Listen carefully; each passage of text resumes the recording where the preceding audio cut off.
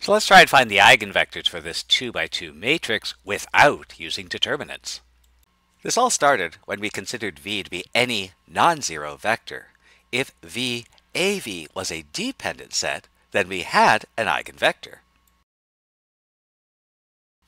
But if v AV was independent, but v AV a squared v was dependent, we could factor a polynomial expression in A, and then one of the factors would give us an eigenvalue and, at the same time, compute an eigenvector.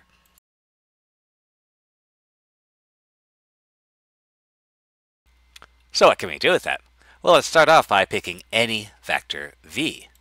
And we'll choose our vector v equal to 1, 0, and we find AV, which is our matrix A times V, and a squared v. And the easiest way to find that is that's AV times A again. Now, since these are vectors in R2, this set of three vectors must be dependent. And so let's take a look at that.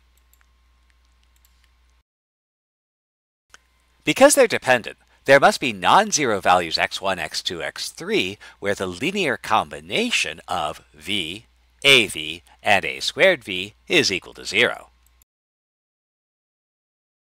And we can find a solution by row reducing the matrix of column vectors. So we'll take our matrix of column vectors and put it into row echelon form.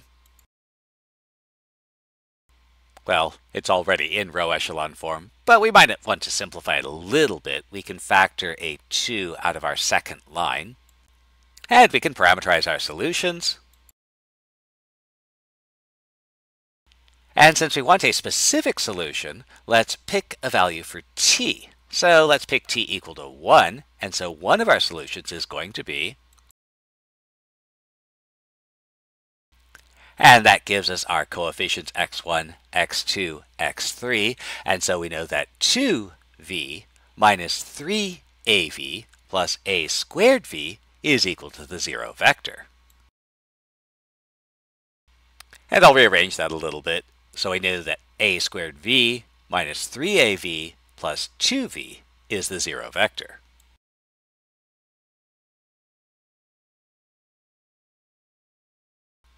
Well, let's take a look at that. Everything has this right factor of v, so we'll rewrite that as a squared minus 3a plus 2i times our vector. And this matrix expression factors. Now let's find that a minus i applied to v. So we know what a is. We know what i is. So a minus i applied to v will be And we have a minus 2i applied to 7, 2 gives us the 0 vector. And so that means 7, 2 is an eigenvector for lambda equal to 2.